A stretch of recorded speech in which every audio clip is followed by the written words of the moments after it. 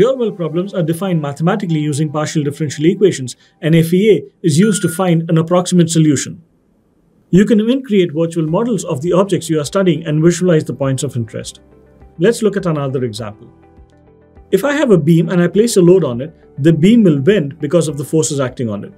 But how does the beam bend? In order for me to understand that, I first need to understand the material the beam is made of. Then, instead of studying the entire beam as a single unit, I divide the solid portions of the beam into smaller units called subdomains, and I study the effect of the load applied on each of these subdomains. Once I have the answers for each of these subdomains, I can reassemble the answers to get one single solution that will approximately represent the effect of the load placed on the entire beam. Similarly, while designing an automotive part, it is necessary to consider the effects of load, vibrational disturbances, and other factors contributing to potential failure. In such scenarios, FEA comes to the rescue.